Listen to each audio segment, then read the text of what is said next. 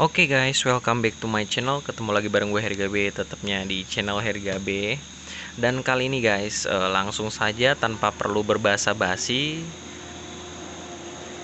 saya akan menjawab pertanyaan dari teman-teman nih seputar permasalahan di Egis Bus ya, yang di mana permasalahannya itu short atomizer yang di mana si coil ini tidak terbaca di device yang kalian gunakan.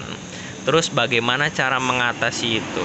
Karena ada beberapa banyak teman-teman yang baru menggunakan ini ketika dia memasang cartridge pada device-nya sudah memasangkan coilnya tiba-tiba short tidak terbaca bahkan tidak terbaca ohmnya. Nah bagaimana cara mengatasi permasalahan tersebut? Saya akan jelaskan secara perlahan-lahan ya kalau misalkan kalian tidak mengerti silakan tanyakan di kolom komentar. Nah yang pertama ya ini saya menggunakan cartridge normal biasa bawaannya Egis Bus kita buka dulu. Biasanya terjadi kesalahan tidak terbacanya coil pada apa device ya. Ini biasanya di sini. Nih di coilnya pemasangan coil yang tidak benar. Nah harusnya kan aturan begini ya lurus gini sejajar dengan uh, dudukannya ini nih. Jadi lurus tidak menyilang ke pinggir tapi lurus seperti ini. Nah kalian harus membenarkan coilnya supaya sejajar lurus sesuai dengan uh, dudukannya ya. Itu yang pertama terus kemudian yang kedua jika misalkan yang pertama sudah kalian cek namun masih terjadi short ya atomizer nah kalian bisa dicek di coilnya. Nah kadang-kadang juga coil dari pabriknya sendiri ini juga mengalami beberapa kendala tidak semulus yang kita kira ya. Jadi banyak juga e, dari pabriknya juga agak sedikit bermasalah di coilnya yang kedua ini kita cek di coilnya sendiri. Kita buka ini udah dibuka sama saya nih ya biar lebih gampang.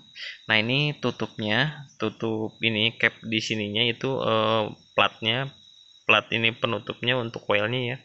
Kalian bisa buka terus kemudian perhatikan kakinya. Ini kalian bisa buka lagi uh, karetnya ini menggunakan paku kecil atau mungkin obeng yang kecil ya yang pasti bisa dibuka lagi. Ini biasanya kendalanya di uh, kakinya yang terlalu berhimpitan satu sama lain. Seharusnya dia pisah tidak berhimpit. Nah uh, saya akan buka dulu ya untuk misalkan ininya karetnya. Saya akan buka bentar ya Nah ini guys ini saya buka karetnya menggunakan tools paku yang telah disediakan dari Rebuild Coil Master. Nah saya buka seperti ini ya e, sebagai contoh buat teman-teman yang mengalami short kita buka dulu ya. Ini saya pakai paku yang sudah disediakan dari coil master. Nah pelan-pelan jangan sampai jatuh ya guys. Nah nah ini perhatikan di coil dalamnya nih nah ini kan ada dua buah coil ya. Eh sorry dua ada dua buah kaki. Nah dua buah kaki coil ini jangan sampai berdim, berhimpitan. Ini nggak harus terpisah ya karena kalau misalkan dia berhimpitan biasanya bakal mengalami short. Tidak terbaca oleh ini apa namanya pot kalian pada saat pemasangan cartridge ya itu yang kedua.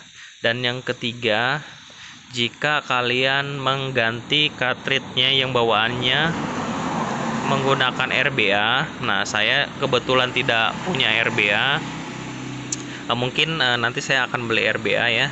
Uh, nanti saya akan tunjukkan shortnya di mana. Ini saya akan jelaskan terlebih dahulu ya. Semoga teman-teman mengerti. Jika tidak mengerti kalian bisa tanyakan di kolom komentar. Nah biasanya RBA nya kan di sini ya nah ini di tengah-tengahnya ini pada saat pemasangan coil jangan sampai coilnya yang kalian pasang itu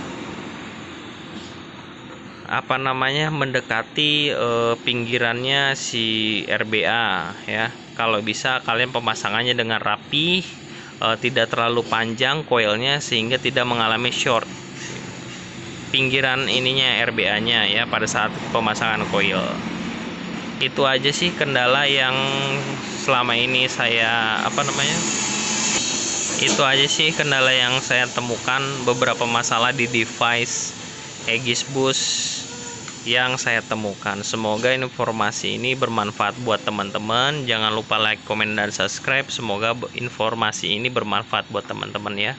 Oke, see you next time. Ketemu lagi di video saya berikutnya. Terima kasih.